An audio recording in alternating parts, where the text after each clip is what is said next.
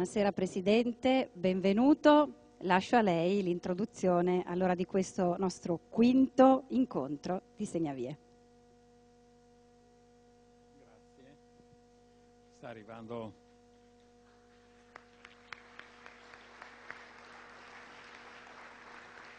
Accogliamo con un applauso il Cardinale Angelo Scola.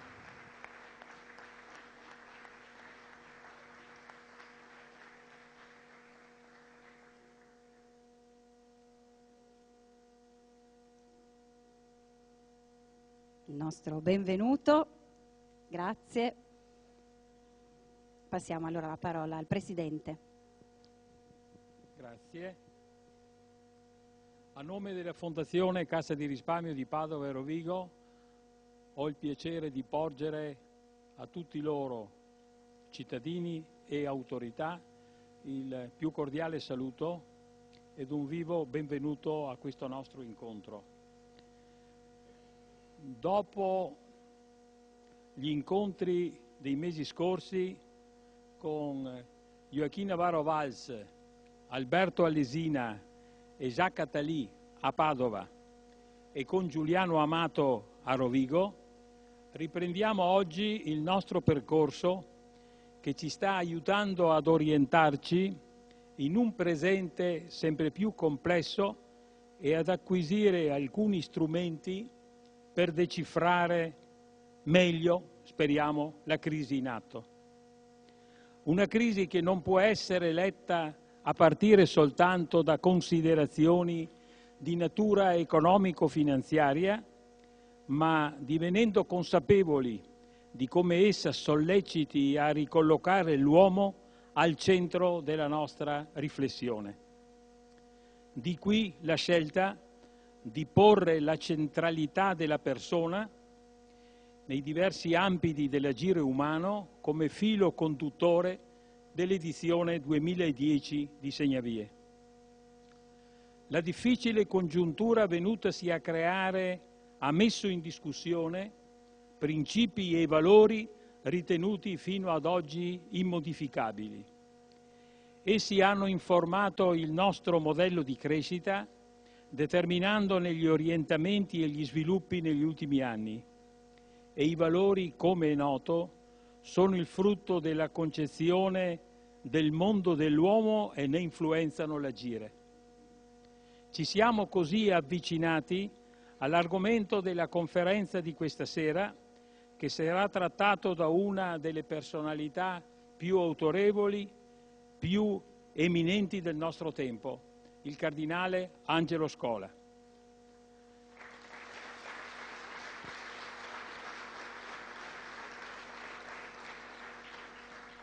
Sollecitato dalle domande del giornalista del Corriere della Sera Aldo Cazzullo, che ringrazio per la sua disponibilità, il Patriarca di Venezia si soffermerà sul tema della vita buona, personale e comunitaria, e delle buone ragioni per la vita in comune. Mi pare evidente l'attualità di tali questioni in relazione alle quali il Cardinale ha, sviluppato una riflessione basata su una visione globale della realtà e una capacità di intercettare le domande più profonde dell'uomo. Prima di concludere e lasciare lo spazio al dialogo che fra poco prenderà avvio, vorrei esprimere veramente di tutto cuore la mia più viva gratitudine a Sua Eminenza il Cardinale Scola per aver accettato il nostro invito So che ha fatto violenza ai suoi molti impegni, alla sua agenda sempre estremamente complicata. Lo ringrazio infinitamente di cuore per essere con noi e qui a Rovigo questa sera. Le sono veramente infinitamente grato. Sono grato perché sono certo che lei saprà così potrà contribuire anche a sollevarci un po', visto che è un momento che la depressione, credo che per una ragione o per l'altra, prende un po' tutti noi. Ecco, lei certamente questa sera ci aiuterà in questo senso a sentirci più pronti alle sfide che il futuro ci, eh, ci presenta, ecco, e, e con riferimento alle quali dovremmo cercare tutti di essere meglio preparati e più idonei. Grazie infinite Eminenza, grazie a voi per la vostra presenza e, buona serata, grazie infinite.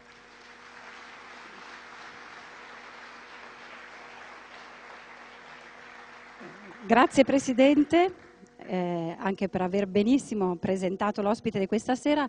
Aggiungo solo che con grande orgoglio che sottolineiamo che eh, è qui, nella nostra terra, è il Patriarca di Venezia e quindi eh, sapete segna via carattere internazionale, abbiamo avuto ospiti che sono arrivati da ogni dove, ma siamo felici eh, che un grande pensatore sia proprio eh, qui, eh, nato da questa terra. Allora lo invitiamo, è con grande onore che invito il Cardinale Angelo Scola a raggiungerci sul palco e il Sindaco di Rovigo, Fausto Merchiori, che gli porge un saluto. Buonasera Eminenza. Prego Sindaco, buonasera, benvenuto. Piacere, grazie, grazie molto. Grazie. Eminenza è davvero un onore poterla ricevere, poterla ringraziare a nome della nostra città. Siamo onorati della sua presenza e siamo coinvolti nel sentire il suo pensiero, le sue parole, le sue riflessioni, ne conosciamo il grande spessore e, ripeto, è un grande onore poter seguire questa sera il suo intervento e essere accompagnato dalle sue riflessioni. E desidero anche a nome della nostra città, a nome degli amici tutti qui intervenuti, eh, poterle consegnare una targa a ricordo Grazie, di bella. questo onore che lei ci fa. Grazie. E siamo grati Grazie veramente molte. a lei, alla Fondazione, al Presidente Dottor Finotti per l'opportunità che con intelligenza assegna alla nostra comunità e la comunità è grata di questo felice incontro.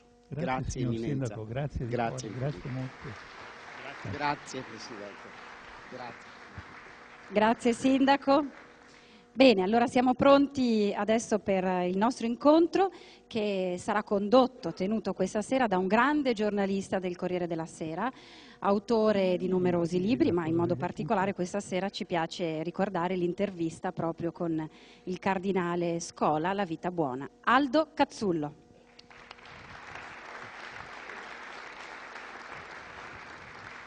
Buonasera. Facciamo accomodare allora il cardinale e buonasera, benvenuto. Buonasera. benvenuto. Vi lascio allora l'incontro, vi ricordo che come tradizione alla fine potremo rivolgere personalmente alcune domande al cardinale. A dopo. Bene, buonasera. Io intanto ringrazio eh, la Cassa di Risparmio, gli organizzatori per l'invito, ringrazio voi per essere venuti così numerosi.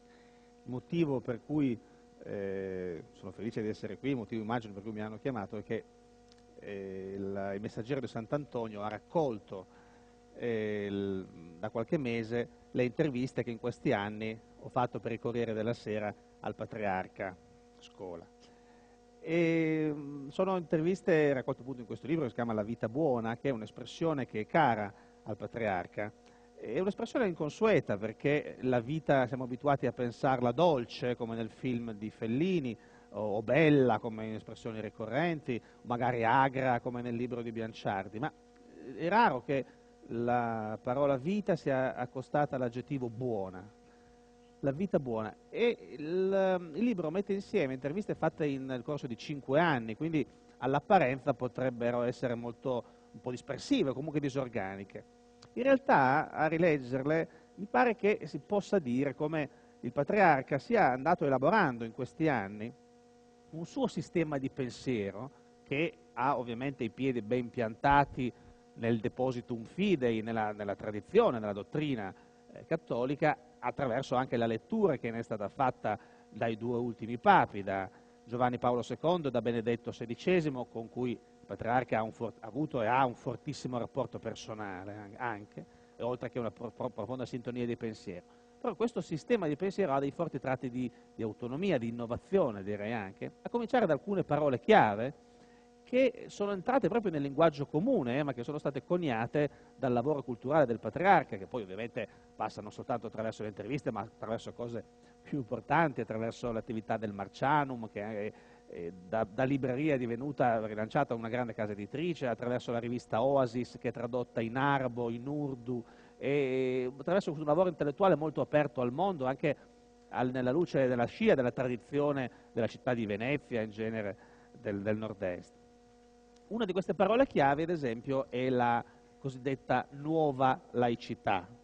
È un tema, l'intervista sulla nuova laicità è del 2005, erano eh, gli anni in cui la Chiesa veniva accusata di ingerenza nei confronti della politica, c'era stata la questione del referendum sulla fecondazione assistita in cui eh, l'allora il presidente della CEI, aveva, il cardinale Ruini, aveva invitato all'astensione, quindi c'era un, un clima di grande scontro. E il cardinale è venuto elaborando questa idea appunto di nuova laicità in cui la Chiesa non pretende di imporre, però chiede di, di, essere ascoltata, di poter concorrere alle decisioni politiche esprimendo la propria opinione. E così, Patriarca, e questa è la sì, nuova laicità. Sì. Beh, anzitutto permettetemi di eh, ringraziare molto il Presidente eh, Finotti eh, per questo invito che mh, attraverso questa iniziativa di, di, di, Segnavia che ho imparato a conoscere eh, mostra bene eh, l'importanza e la rilevanza culturale e sociale che le fondazioni debbono più che mai avere nel nostro Paese, stante la loro origine eh, popolare, sono nate da lì e, so, e devono essere totalmente spese al servizio della società. E la dimensione culturale nelle nostre terre venete è particolarmente importante e quindi eh, sono mh, mm, sinceramente contento di essere qui questa sera, ringrazio anche il signor Sindaco per l'accoglienza, per il bell'omaggio, eh, Sua Eccellenza il Prefetto e con particolare affetto eh, i Vescovi e il Vicario eh, che sono presenti nonostante i loro abbondanti impegni. Eh, perché per, per noi vescovi eh, questo orario della, della giornata eh, non, non, in genere ci vede eh, un po' in azione nelle nostre parrocchie e sul nostro eh, territorio. Eh, così come ringrazio voi tutti di aver trovato il tempo per venire ad ascoltare questa conversazione e eh, l'amico Aldo che mi ha realmente aiutato in questi anni a, a, a, mettere un po' a fuoco e a mettere un po' in ordine qualche spunto e qualche idea che eh, facendo il vescovo da vent'anni ed essendo sempre a contatto con la gente, con il popolo, sono andato maturando. Le mie idee vengono più da questa esperienza e dall'ascolto che non dai libri, eh? Eh, perché eh, uno degli inconvenienti di fondo di questa nostra epoca è che non ci ascoltiamo, non ci ascoltiamo più, mentre l'ascolto è la forma eh, primaria della, fe- della, fecondazione di un'intelligenza e della fecondazione de- de- del cuore, cioè dell'affezione e della fecondazione de- dell'azione, però deve essere appunto un ascolto di fecondazione. Cioè, mi è sempre impressionato, voi forse già lo sapete, eh, eh, la famosa dottrina dei padri cappadoci, ai quali eh, dicevano che prima del peccato originale il, il concepimento dell'uomo avveniva attraverso l'orecchio. Noi oggi ascoltando questo eh, siamo tentati di ridere o di sorridere e invece, invece secondo me era una immagine geniale e, e perché? Perché indica il fatto che l'ascolto, l'ascolto è la forma di fecondazione dell'io la più potente, la più potente che esista. Quindi io quando eh, faccio degli incontri di svariata natura in diversi ambiti, eccetera, anche quando lavoravo come insegnante o come rettore, eccetera, uso, uso sempre eh, prendere degli appunti e poi quando c'è un, un'immagine, un'idea, uno spunto che mi colpisce, metto una stelletta e poi eh, ci ritorno su e quando devo scrivere una cosa uso queste cose qui, perché non c'è il copyright delle idee, eh, se, non, soprattutto se non sono scritte. quindi io sento una buona cosa, la catturo, la metto dentro mia, il mio sguardo e, e, sì, e allora eh, se un, un, personaggio grandissimo che De Lubac aveva definito come l'uomo più colto eh, del XX secolo, cioè eh, Baltasar, eh, col quale ho avuto la, l'avventura di collaborare eh, per, per molti anni, quando ricevette a Roma da Giovanni Paolo II eh, il premio Paolo VI, fece un discorsetto di due minuti in cui disse in mancanza di meglio ho scritto qualche libro, però la mia preoccupazione era di fare bene il prete, tutta la mia vita ho cercato di fare bene il sacerdote. Insomma, eh, sappiamo che Baltasar ha scritto 300 libri e circa 7.000 articoli scientifici, quindi eh, certamente, ecco, però quindi eh, per, volevo un po' depotenziare questa immagine del cardinale intellettuale, eccetera, che, che insomma non, non, è, non, è, poi così realista. No, e, e quindi l'ascolto è stata un po' eh, la, la, genesi eh, del, delle mie riflessioni anche di questi eh, libri, compreso l'ultimo che è appena uscito, che mette insieme, eh, che, che è una riscrittura di testi che la pastorale eh, come avviene per il, per il, vostro vescovo per gli altri vescovi, la pastorale ci costringe a scrivere, non è mica niente di...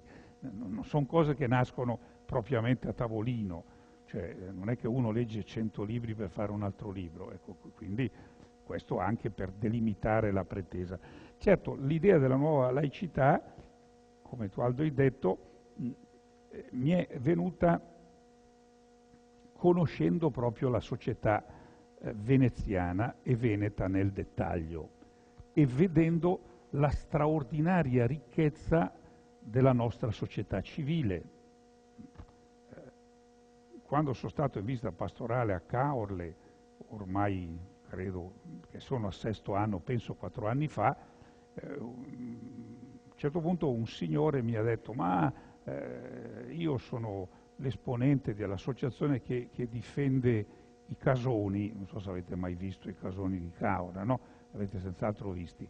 E, insomma, noi ci siamo, mi sono incontrato con altri che dirigono altre associazioni, ci piacerebbe avere una sera un dibattito con lei eh, sul valore del nostro impegno. Detto, va bene, facciamolo. E mi sono trovato i rappresentanti di 78 associazioni a Caorle, sono durante l'inverno 8.000 abitanti, non è che sono... Ma questo vale per tutta la nostra realtà veneta, lombarda, eh, italiana in generale. No? Allora lì mi è nato questo interrogativo, ma da dove nasce allora il conflitto che si è andato accentuando in questi ultimi 50 anni nella nostra società italiana e che purtroppo sta progredendo in misura geometrica in questi, in questi ultimi anni. Dal momento che sul territorio esiste una vivacissima società civile in cui al di là delle, delle, delle umane piccole debolezze e fragilità che danno origine a, a, quelle, a quelle beghe che tante volte succedono un po' anche in famiglia, ma che hanno una delimitazione molto oggettiva, sono gente che collabora. Insomma, perché? perché deve passare un'immagine così conflittuale, così litigiosa? E lì ho fatto la prima scoperta che nel nostro paese c'è una bella differenza tra l'opinione politica, l'opinione mass mediatica e l'opinione pubblica. Quindi qui, qui c'è un, un, un, divario. Però eh, no, non si può essere superficiali, mi sono detto come fare riemergere tutta questa ricchezza. E eh, accettando il fatto che ormai la nostra società è diventata plurale, quindi è abitata da soggetti personali e sociali con mondovisioni molto diverse tra di loro, gente che crede, gente che dice di non credere, gente che dice di non poter credere, gente che dice di non dover credere, ma che comunque ha una sua visione della realtà. Poi c'è stato il fenomeno del mescolamento eh, de, de, delle civiltà dovute all'emigrazione, alla civiltà delle reti, insomma è diventata una società plurale. Allora, mh, mettendo sul tappeto la ricchezza e la modalità di collaborazione e di confronto tra questi soggetti eh, popolari che sono a livello della base e l'alzarsi progressivo del tasso di conflittualità man mano che si va verso il livello istituzionale il livello mass mediatico, ho detto, quello che, che il popolo nostro vive deve diventare il criterio con cui affrontare la divergenza e la contraddizione a livello politico, istituzionale e mass mediatico. E cosa succede allora eh, eh, tra di noi? Perché nuova laicità?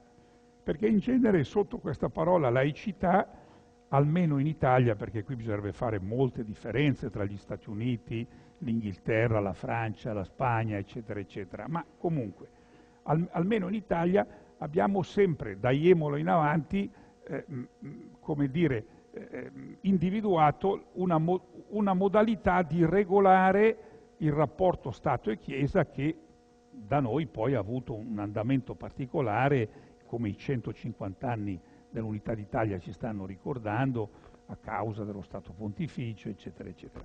Ma mi sono detto, questo adesso può essere solo un aspetto molto specifico, molto particolare del problema, il problema è piuttosto un altro.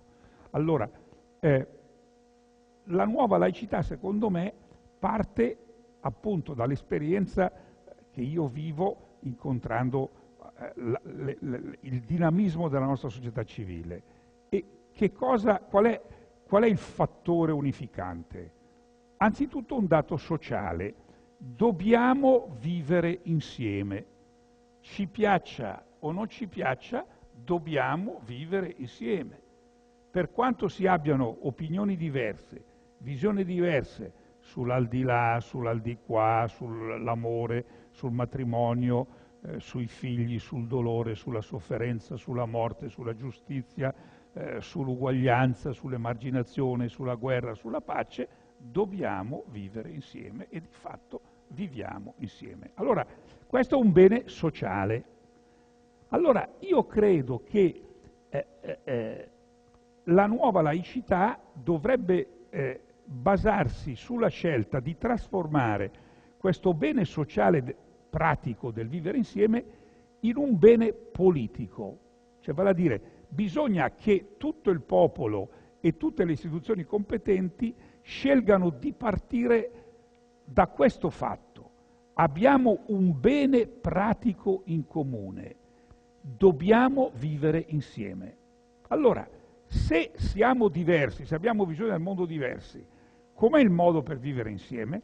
Non può non essere quello di un continuo racconto reciproco, di una continua narrazione del modo che ogni soggetto ha di concepire la vita, in vista di un riconoscimento reciproco, come diceva Ricoeur parlando della società, di un riconoscimento reciproco in modo tale che i beni spirituali e materiali che siamo costretti a condividere socialmente e che scegliamo di condividere politicamente possono eh, trovare attraverso questo riconoscimento la strada per quel che ho chiamato il compromesso nobile, ho aggiunto questo aggettivo nobile perché la parola compromesso è andata smarrita nel suo significato etimologico, perché vuol dire cum promitto, vuol dire tutti insieme promettiamo, ma oggi quando si dice compromesso si pensa a una cosa brutta. Allora ho aggiunto nobile per far capire che non intendevo qualcosa di utilitaristico. Allora, tutti questi soggetti dialogando devono cercare di promettere insieme al sovrano, che è il popolo, il popolo di impegnarsi sui beni spirituali e sui beni materiali necessari per una vita buona. Il primo a usare questa espressione è stato Aristotele, no? La, eh, a parlare di vita buona. Allora, eh, per, una, per, una, vita buona. Quindi allora mi sembra che esca un'immagine di nuova laicità, la, è nuova perché non è, non è, lo stesso modo di parlare di, di laicità eh, eh, eh, come dire, limitato al rapporto Stato e Chiesa o, e, e, con tutti poi i problemi annessi e connessi della neutralità, e, eccetera. Ecco. Voglio solo fare notare una cosa, che secondo me questo sfata un luogo comune molto grave, oggi dominante, purtroppo dominante anche nelle nostre teste, eh? e cioè che in una società plurale, che per forza di cose è tendenzialmente conflittuale, come, come abbiamo visto in tutto questo dopoguerra nel nostro paese, eh, eh, il sociale dovrebbe essere neutro. Io uso sempre per, per spiegare questo l'espressione che la, i filosofi eh, Schelling e Hegel utilizzavano per parlare di altre cose. Cioè la società dovrebbe essere un, un terreno, un luogo in cui tutte le vacche sono nere, diceva Hegel, quindi non, non, non si distingue più niente, non si vede più niente, non c'è più nessuna faccia che si mostra. Ecco, questa idea, secondo me, prima di tutto è profondamente sbagliata e proprio l'esperienza della società civile veneta, oltre che di quella lombarda in cui sono nato, me l'ha mostrato chiaramente, perché invece la società mostra una serie di soggetti vivi che interloquiscono, che agiscono, che hanno un volto. Quindi la società, non ha senso dire che la società deve essere neutra. Non ha neanche senso dire, propriamente parlando, che lo Stato deve essere neutro. Lo Stato non deve essere confessionale, non deve sposare nessuna di queste visioni, ma alla fine compito dell'autorità istituzionale è riconoscere e eh, trasformare attraverso il processo della legiferazione, riconoscere che è, quello che è l'orientamento prevalente del sovrano, che è il popolo non può, non può trincerarsi dietro una neutralità di fronte a questo orientamento. E allora compito di ogni soggetto che viene dalla società civile è immettere la propria visione delle cose. E qui dico eh, eh, che la più grande obiezione a questa impostazione è, per esempio, l'abbiamo visto quando c'è stato il referendum già eh, sul divorzio, poi sull'aborto, poi sulla legge 40, per citare questi esempi qui. Io, che ho certe convinzioni, non divorzierò mai, però non posso impedire a chi ha delle convenzioni diverse di divorziare. Questa, questa, questa sorta di principio pratico produce eh, l'idea che allora quando nel Paese si deve determinare una scelta o una legge, bisogna che tutti si astengano dal mostrare la loro posizione. Mentre io dico il contrario, io ho la convinzione che una società civile matura, cresce, dà speranza, apre al futuro, se fa figli, non come stiamo eh, facendo noi adesso, e i demografi ci dicono che la nostra situazione sta toccando il punto di irreversibilità. Di irreversibilità. Allora, eh, bisogna, io sono convinto che una società civile è sana quando è fondata su una famiglia, a sua volta fondata sul matrimonio tra un uomo e una donna, fedele e aperto alla vita. Se io non propongo, sottolineo, propongo pubblicamente e chiaramente questa visione a tutti, io tolgo qualcosa alla società civile.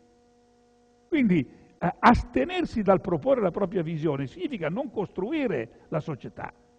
La propongo, accetterò il confronto con altre visioni, e lo Stato eh, eh, democratico che noi viviamo, fondato su procedure pattuite, avrà nelle autorità istituzionali e in queste procedure il modo di verificare qual è la tradizione prevalente nel rispetto sempre dei diritti fondamentali di tutti e di ciascuno, però solo dei diritti fondamentali, non di qualunque capriccio elevato a diritto. Quindi adesso io ho un po' affastellato un, un, una serie di spunti, ma eh, eh, cosa comporta questa idea di nuova laicità? Forse sono riuscito a farlo intuire. Tengo soprattutto a questo rovesciamento, a, questo, dire, a questa critica radicale al principio eh, che io se dico la mia posizione blocco la libertà dell'altro. Questo è, è, è profondamente falso, esattamente il contrario. Il problema è che io la mia posizione la propongo per la ricchezza di tutti, perché ho in comune con l'altro un grande valore, devo vivere con lui e ho scelto di vivere in pace con lui. E allora devo dire quello che per me è decisivo per una società buona, per una vita buona, in una società giusta che tenda il più possibile alla pace. Se non dico questo, tolgo qualcosa a lui. Lui dirà il contrario di me, benissimo, insieme, ecco il confronto serrato, cercheremo il compromesso nobile, il, il potere istituzionale garantirà che siano rispettati i diritti fondamentali di tutti, ma che l'opinione o la tradizione prevalente eh, eh, divenga eh, eh codificata e, e, e poi eh, eh, si, si, si, vedrà se ci sono di, mes, di, mezzo dei principi che legano la coscienza in maniera inviolabile, procedura, le procedure del nostro Stato democratico prevedono l'obiezione di coscienza e quindi io farò ricorso all'obiezione di coscienza di fronte a dei principi che giudico inviolabili e irrinunciabili. Quindi eh, mi pare un'idea, ecco perché nuova, un po' più larga di quello che normalmente circola.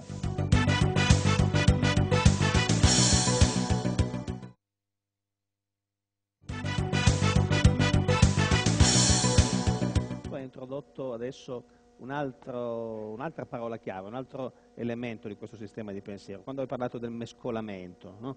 il mescolamento che tu chiami anche meticciato. Di civiltà, eh, Meticciato di civiltà, certo. Ecco, perché mi pare di capire, l'essenza del tuo pensiero è questa, correggimi se sbaglio, l'arrivo degli immigrati, l'incontro il mescolamento non sono delle scelte, sono delle cose Perfetto. che accadono, a cui non ci si può sottrarre. Sono un processo. Sono un processo, che qua è particolarmente sentito perché il nord-est è certo. la terra dove ci sono di più forte immigrazione ed è anche, e probabilmente c'è un collegamento tra le due cose, la, la, la, terra in cui la Lega ha un consenso più forte.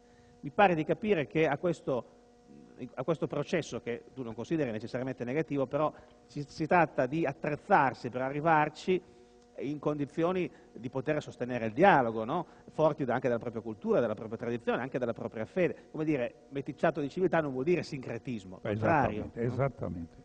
No, grazie moltissimo, sono contento perché così ho il modo di tentare di precisare un po' il mio pensiero perché su questa formula ho, continuo a ricevere critiche da anni insomma, e anche tanti insulti perché questi mezzi nuovi dell'email fanno arrivare a casa a noi vescovi una quantità di insulti che eh, non avrei mai pensato, insomma, no? eh, magari nascono da una rabbia che non sempre si mette all'ascolto.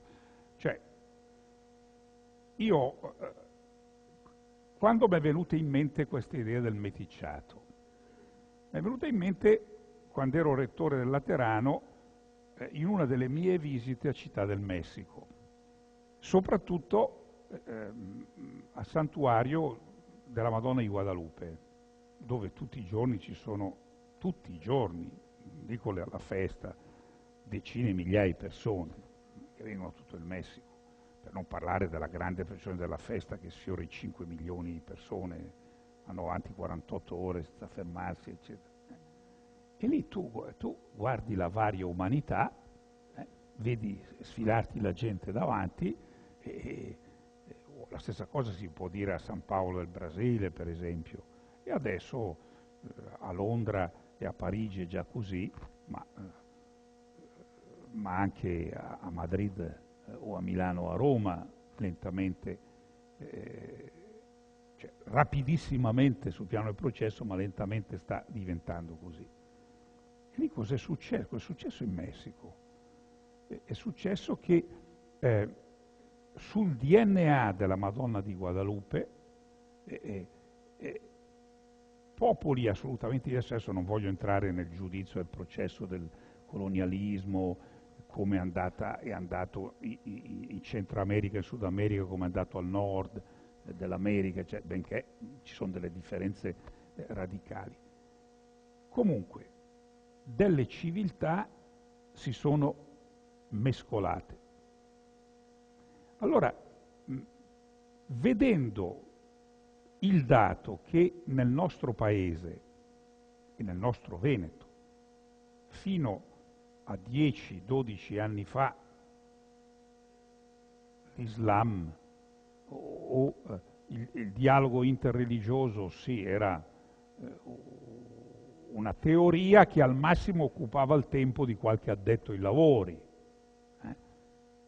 Adesso in dieci anni ci troviamo di fronte al fatto che noi abbiamo classi a, a Marghera dove l'80% di extracomunitari, eh? quindi eh, ci, siamo, ci troviamo di fronte al fatto che ormai i musulmani, per fare solo quell'esempio lì, ci sono solo loro, ci sono anche eh, gli hindu, ci sono i sikh, eccetera, eccetera, ci sono eh, i, i, cinesi col confucianesimo, eh, il buddismo, eccetera. Cioè, eh, ci troviamo di fronte a, al fatto che eh, ormai i musulmani in Europa sono circa 17 milioni, sono in grande crescita, sono destinati a crescere perché?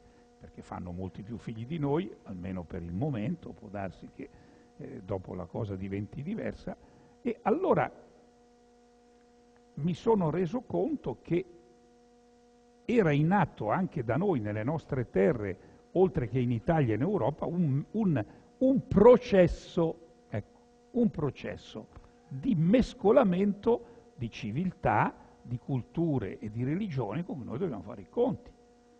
Torno ancora alla mia esperienza di vescovo, visita pastorale alla parrocchia della stazione di Mestre, eh, prima d'andare il, il, il, il pope de, del, dei, degli ortodossi rumeni, a cui noi abbiamo dato in uso una chiesa per il culto, eccetera, ancora molto modesta, mi dice, sa, eh, Eminenza, noi siamo molto devoti a Santa Lucia, eh, se ci portaste una reliquia di Santa Lucia eh, e veniste dopo che siete stati in parrocchia a portarcela, a incontrare i nostri fedeli, a fare una preghiera in comune, ho detto sì, lo facciamo volentieri sono stato nella nostra parrocchia cattolica, ho fatto la messa e poi sono passato in questa chiesa.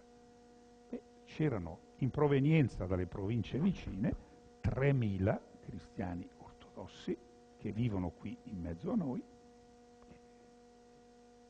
Dieci anni prima, solo a Venezia, noi eravamo abituati a quel che restava della presenza de, de, de, dei greci dal 1400, ma era, era una presenza più culturale che... Quindi ho citato gli ortodossi, ma poi si, si possono citare appunto, ho citato anzitutto i musulmani, ma eh, quindi questo processo è in atto. È inutile, eh, eh, come dire, metterci le fette di salame sugli occhi, dobbiamo affrontarlo. I processi non si decidono a tavolino, i processi si possono ti coinvolgono, ti prendono dentro nonostante te, allora si possono orientare. Ecco il punto. Una società civile matura li orienta. Come possiamo muoverci di fronte a questo processo di mescolamento di civiltà e di culture? In una società plurale che si concepisce secondo quell'idea larga di laicità che ho detto prima, dobbiamo anzitutto accettare il fatto che anche loro prendono parte di quel bene pratico che è il vivere in comune. D'accordissimo sulla questione della legalità, cioè che, che, che, che questo vivere in comune eh, deve rispettare delle regole, dei principi, una tradizione, eccetera.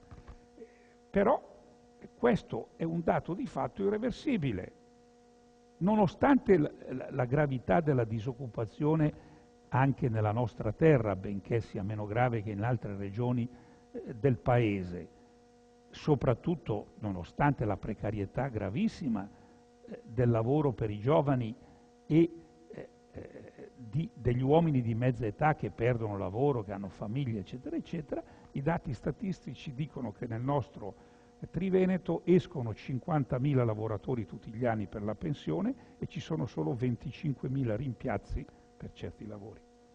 Questo non dico io, dice la Fondazione Nord-Est, lo dicono quelli che fanno i conti su queste cose. Gli altri 25.000? Eh, questi sono dati di fatto. Allora, questi portano con sé la loro religione, la loro cultura, le loro tradizioni. Allora in, deve, eh, Pro, questo è il meticciato, è il mescolamento. È, è chiaro che io che credo in Gesù Cristo come unico e universale Salvatore Redentore, così come i miei confratelli vescovi, i nostri sacerdoti che, si, che danno la pelle tutti i giorni, dalla mattina alla sera, per questo.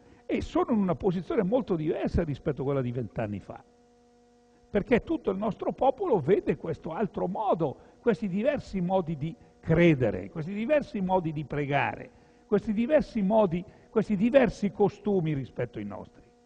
Allora? Allora, come senza cadere nel sincretismo, senza dire una religione vale l'altra, cosa importa, senza cadere nel neutralismo, non facciamo più il presepio perché sennò dà fastidio al musulmano, a parte che tutte le volte che si verifica non è affatto vero che dà fastidio, cioè, ma dà fastidio a quelli di noi che vivono col pregiudizio del neutralismo, per cui se io dico una mia convinzione eh, eh, eh, violo la libertà dell'altro, dipende da come la dico, dipende da come la propongo. Esattamente il contrario. Allora bisogna, il meticciato è un processo che ci mette al lavoro e ci mette al lavoro con responsabilità diverse a secondo dei diversi soggetti che entrano in campo. Cosa deve fare la Chiesa di fronte al meticciato di civiltà? Fa quello che fa. Il primo comandamento della Chiesa è l'amore, la carità, il partire dal bisogno, il condividere il bisogno, soprattutto il bisogno degli ultimi, è la prima più immediata forma di carità, ne sbarcano 300 a Lampedusa e, e, e le, la, la, Caritas, piuttosto che anche altri, non sto riducendo questo, eh, va a dare una mano a quella povera gente lì che arriva. Se io scendendo dalle scale eh, mi cado, eh, tu, anche se sei un ortopedico, vieni lì a darmi una mano, no? Mi sono spiegato, non, eh, magari mi sono rotto la gamba e tu mi fai compagnia finché eh, finché arriva l'ambulanza, insomma. Eh, la Chiesa fa questo primo, primo impatto.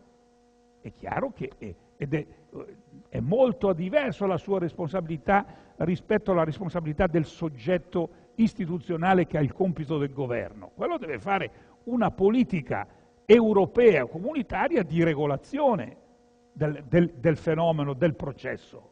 Quindi ha altre responsabilità. E Ancora diversa è la responsabilità, ed è di gran lunga la più importante, della società civile.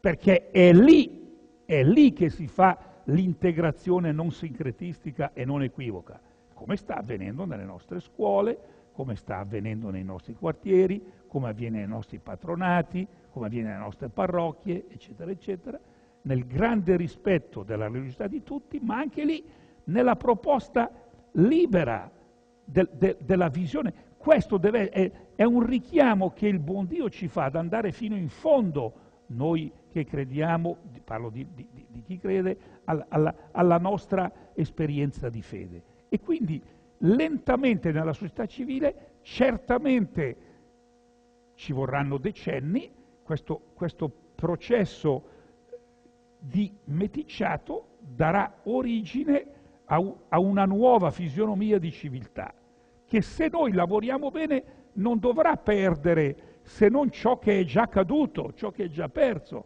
della nostra storia, della nostra tradizione, ma potrà ringiovanirsi, ringiovanire la tradizione eh, nel rispetto di un pluralismo vissuto nell'unità, dentro una, una libertà eh, eh, autentica, dentro un rispetto della nostra storia, come il Santo Padre ha mostrato, parlando in un certo modo in Inghilterra, della dimensione pubblica della vita, eh, eh de, della, della vita di fede.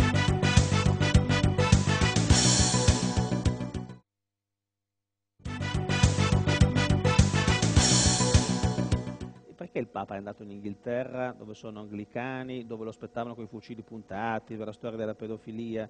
Mi pare di capire che poi sia stato un grande successo, anche a detta degli inglesi stessi, quel viaggio.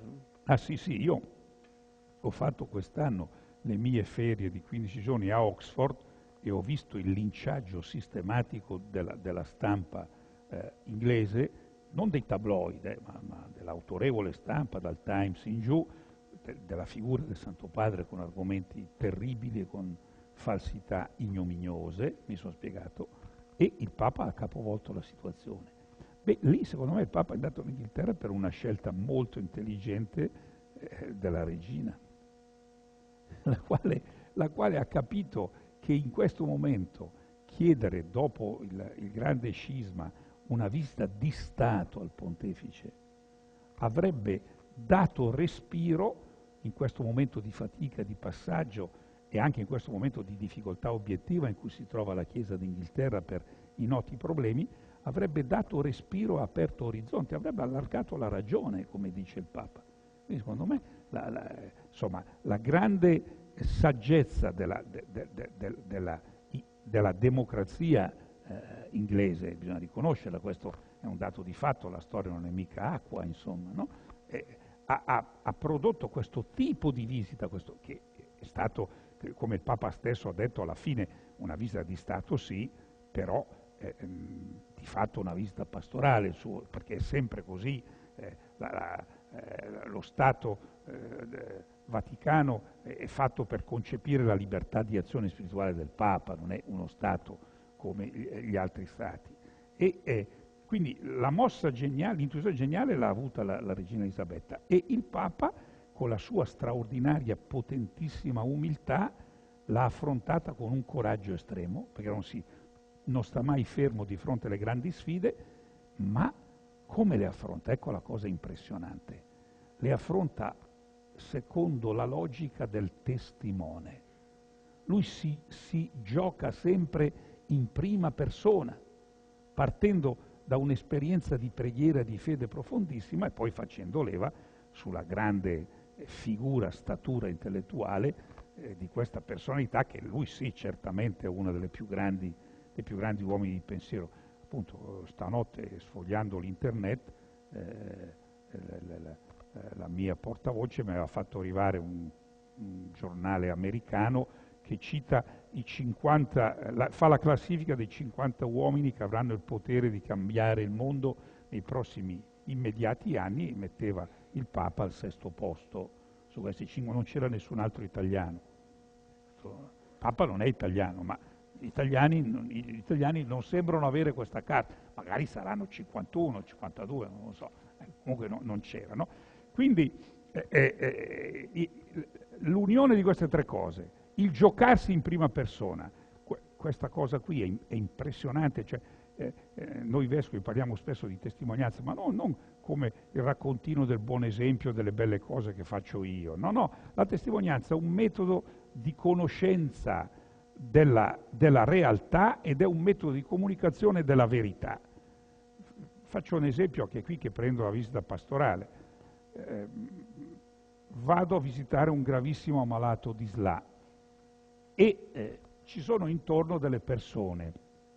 A un certo punto il parroco mi presenta un signore più o meno della mia età e mi dice, senta, vede, vede questo eh, signore, mi dice il nome, Antonio, e, e questo signore ha perso tre mesi fa un figlio che era gravemente handicappato, non è mai riuscito a parlare, è, è, è vissuto 59 anni, 59 anni, sdraiato su una speciale sedia a rotelle e il letto, perché una sedia a rotelle comune non bastava, e, ehm, e questo uomo ha speso tutta la sua vita ad accudirlo, dalla mattina alla sera, con una dedizione impressionante. Questo, ragazzo, questo uomo poi ci manda morto a 50 anni, non parlava, non, eh, bisognava imboccarlo. E io mi sono, come sempre in quei casi lì, mi sono sentito un po' un verme, diciamoci la verità. E ho biascicato qualche parola e ho detto, ma il Signore le darà merito. Quest'uomo mi ha fatto un larghissimo sorriso, mi ha detto, no, no, il Signore mi ha già dato tutto, perché io ho imparato cos'è l'amore. Ecco la testimonianza, questo ha imparato, conoscenza della realtà, cos'è l'amore. Lo sappiamo noi oggi cos'è l'amore? Punto di domanda. Secondo, l'ha comunicato al patriarca e alle persone presenti. Questa è la testimonianza. Non fare il raccontino soltanto di, di, de, della, della, cosa più o meno buona che hai fatto o che ti è capitata, ma, ma conoscere la realtà e comunicare la verità che scaturisce da questa realtà. Il Papa è uno che si muove così. La, la lettera ai, ai cattolici d'Irlanda dopo le terribili questioni della pedofilia sembrava la lettera accurata di San Paolo ai cristiani di Corinto. Quindi questa è la sua forza. Questo, questo che viene dalla sua esperienza di rapporto con Gesù e dalla sua preoccupazione per il bene della Chiesa, eh, unita a una umiltà che è pari solo al coraggio, non si ferma di fronte a niente, e poi alla, alla, alla, alla forza con cui ha presentato appunto la dimensione pubblica della fede, questo è un viaggio storico, perché ha ridato finalmente cittadinanza in Europa, ha ridato pieno diritto alla dimensione pubblica della fede. In questo senso quello che io dico sulla nuova laicità eh, è in maniera un po' più grezza, meno profonda di quella che utilizza il Santo Padre, ma è la stessa identica cosa, che del resto è anche la professione di noi vescovi, non, ness- non ci interessa in nulla l'ingerenza, che ingerenza? Non, il cristianesimo non è legato a nessuna egemonia. No? Pensate cos'era la Chiesa del Nord Africa fino al IV secolo, una Chiesa floridissima, diffusa capillarmente, dopo l'eresia ariana, il crollo totale, oggi si contano le unità, sono quasi tutti gli occidentali. Dio ti dà un tempo in cui eh, di fatto la, la fede cristiana permea tutta la società, ecco il tema delle radici cristiane dell'Europa, e ti dà un tempo eh, in cui tu sei, eh, come ne, nella massa hindu dell'India, eh, l'1,7%. Per cui le poche chiese che hai sono esse stesse frequentate, eh, mi è capitato celebrare la messa a Mumbai, eh, eh, a un certo punto ho visto comparire una frotta di 200 persone che stava in fondo alla chiesa e, e, e, muoveva le mani in un certo modo, mentre io celebravo a 5 o 6 persone lì davanti, alla fine ho detto al prete, ma chi sono? E sono gli indu del quartiere che non hanno un tempio, vengono qui. Lì il dialogo interreligioso è, è nei fatti. Un cattolico sposa eh, uno di religione hindu, trovano la strada, l'esperienza elementare comune, il valore pratico dell'essere insieme quindi secondo me la visita del Papa è stata storica da questo punto di vista, bisogna rileggere soprattutto il discorso alla Westminster Hall, che è realmente un, un, eh, potrebbe essere un manifesto per l'impegno dei cristiani in politica. A proposito, intanto permetto, io vorrei poi lasciare spazio sì, sì. alle domande del pubblico e quindi ne faccio una ultima io, ma si collega con quello che Petrarca che hai appena detto eh, siamo rimasti un po' tutti colpiti dal tono molto preoccupato con cui si sono conclusi i lavori della conferenza episcopale, a cui hai come sempre partecipato. Il Presidente Bagnasco ha, avuto parole davvero accorate no? sullo stato del Paese, riferendosi, credo, anche sia alla politica, ma sia anche proprio a, alla società, insomma, alla tenuta della coesione sociale. E siete davvero così preoccupati? Come, come ti sembra l'Italia di oggi? e non ho la boccia di cristallo, eh, quindi no, certamente attraversiamo una fase molto molto difficile perché al cambiamento radicale che è in atto, eh, che si è prodotto in maniera macroscopica soprattutto dopo la caduta dei muri, eh, che è segnato dai fenomeni che interessano tutto il pianeta. Abbiamo parlato della società plurale, del meticciato di civiltà, ma si potrebbe parlare della globalizzazione nel suo rapporto con il locale, della civiltà delle reti. Eh, voi stessi state sperimentando la necessità cambi- del cambiamento del mondo del lavoro, questo si vede. Purtroppo oggi il Corriere eh, sciopera eh, eh, proprio per questa, secondo me, sbagliatissima resistenza verso cambiamento, il nuovo. verso il nuovo, no? Cioè, eh, Aldo mi diceva prima che oggi un giornalista non è solo più quello che scrive il pezzo, ma deve sempre andare anche sull'internet, deve andare alla televisione, deve scrivere dei libri, deve girare l'Italia per presentarli e quindi cambia il modo di lavorare, ma cambia il modo di lavorare di tutti, no? Di tutti noi, tutti voi lo toccate con mano, oggi è molto più, più, più difficile, a parte la terribile situazione della precarietà, ma non bisogna confondere la precarietà con eh, eh, il percorso di lavoro che ha sostituito, ma adesso non possiamo entrare in, eh, in, in tutti questi temi. Quindi c'è prima questo cambiamento epocale che per me ha comunque la sua cifra, la sua cifra eh, emblematica nel, nel, nel, fatto che l'uomo ha messo eh, le mani su, sulla sua genesi, sul suo genoma. Cioè noi andremo in giro, io forse no, ma eh, voi sì, e molti, perché siete più giovani, e molti nostri figli andremo in giro col genoma in tasca. Eh. Dopo se sarà un vantaggio sapere a, a 12 anni che avrai probabilmente il, il diabete a 42 o l'Alzheimer a 57, non so se sia un grande vantaggio, ma questo vabbè, eh, si, si, vedrà. Certamente dal punto di vista di, fare, di, di, adottare uno stile di vita che ti permetta di, sarà un vantaggio, soprattutto dal punto di vista della, della nuova medicina, appunto. Eh, ma eh, comunque questo, questo, è, uno, è uno sconvolgimento radicale.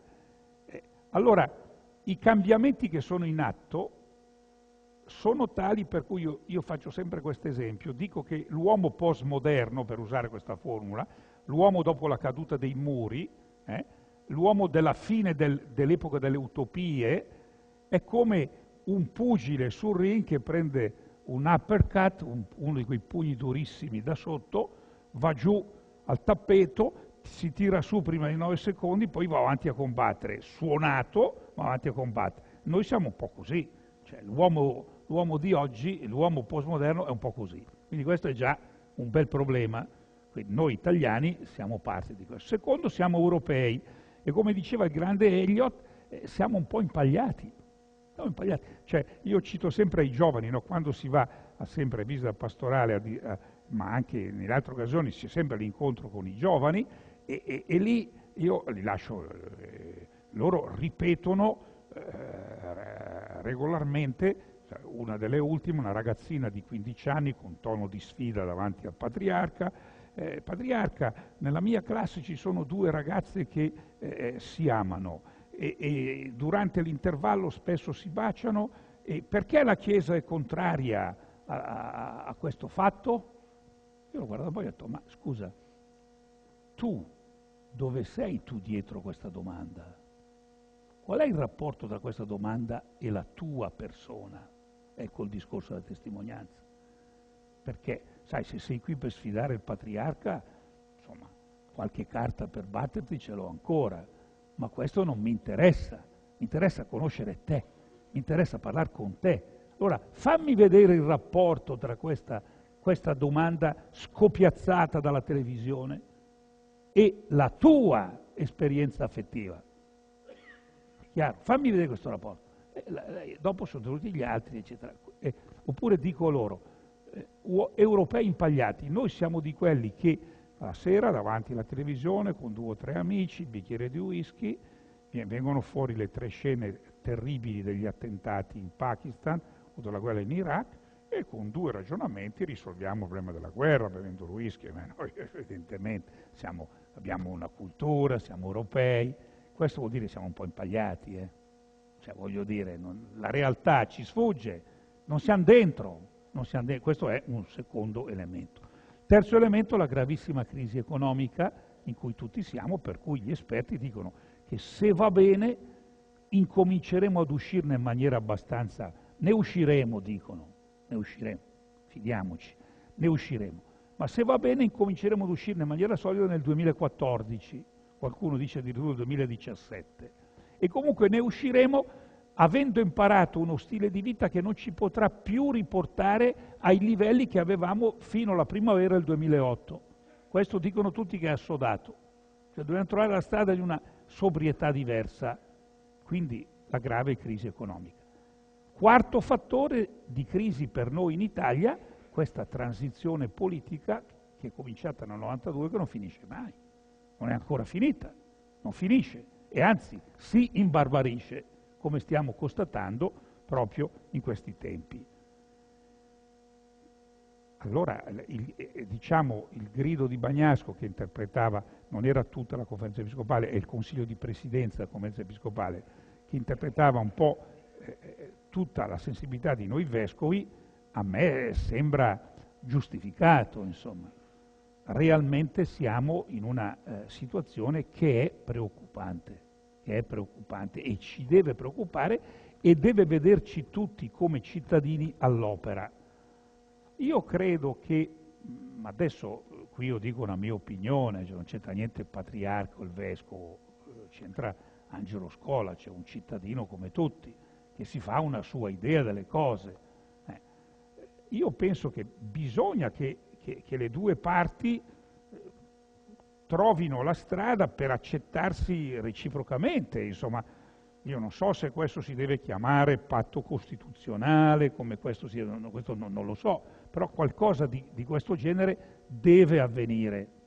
Questo a me eh, sembra, eh, sembrerebbe un passo necessario e, e decisivo. E, e dopo bisogna, la seconda cosa che dico, che eh, diciamo la pazienza, eh, No, perché so che vi tirerò dietro delle rogne, insomma, ma comunque. Cioè, che i poteri neutri tornino ad essere neutri.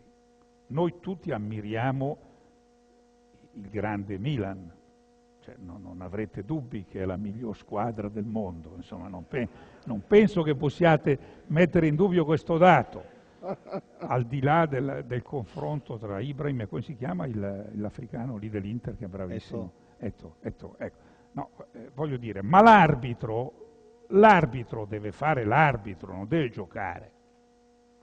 I poteri neutri, che sono per definizione costituzionale la magistratura, la stampa, devono restare neutri. Devono mettersi a giocare in campo, per l'uno o per l'altro. Mi sono spiegato. Questo a me sembra, sembrano due elementi che accompagnati al fatto che da questa società civile molto ricca, per me quindi la speranza è più forte della critica, nascano uomini e donne che si rimpegnino nella vita politica, secondo quella appassionata visione della laicità positiva che ho cercato di descrivere, ma andate a leggere il discorso del, del, del Papa, che le cose sono dette molto meglio e con molta più eh, linearità, più, soprattutto uomini e donne della generazione intermedia, tra i 20 e i 50 anni. Dove sono nel sociale questi? Dove sono nell'ecclesiale questi? Loro sono la forza trainante del paese. Certo, sono oppressi da quello che Pavese chiamava il mestiere di vivere. La, la confusione e i pasticci nella vita affettiva e il percorso di lavoro diventato molto più faticoso del tempo del sicuro posto di lavoro, eh, eh, li affatica al punto tale che probabilmente non, non hanno più le energie e il tempo né di vivere fino in fondo l'esperienza eh, civile e sociale né l'esperienza ecclesiale. Ma noi, eh, questo non dico perché non, non, non sia molto importante l'impegno degli uomini e delle donne di tutte le stagioni, penso soprattutto a quanti, eh, alla grande forza che, che, sono, che, sono, gli uomini e le donne della mia età, insomma, della, non eh, so come chiamarla, della terza età, della, della, eh, è così, insomma, no? è un dato eh, di fatto. Eh, Giovanni Paolo II raccontava sempre che quando il cardinal Wyszynski l'ha chiamato per dirgli che, che era diventato vescovo ausiliare, aveva eh, 39 anni, eh, eh, il Papa disse eh, ma io sono così giovane e Viscinsi gli rispose stai tranquillo che questa è una malattia da cui si guarisce presto. Eh, quindi, eh, allora anche gli uomini della, de, della, della, nostra generazione, ma quelli della generazione intermedia, bisogna che la società civile travasi nuove forze ne, ne, nei mondi istituzionali, nel mondo politico, nel mondo della magistratura, nel mondo dell'economia, della finanza, del giornalismo, dei mass media, cioè, eh, e, e, e bisogna qui che chi ha il potere reale favorisca questi passaggi, in modo tale che i grandi temi della vita buona eh, vengano affrontati positivamente.